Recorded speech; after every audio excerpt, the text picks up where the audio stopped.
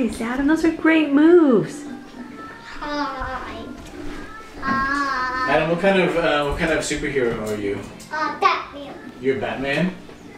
And Sam, what kind of superhero are you?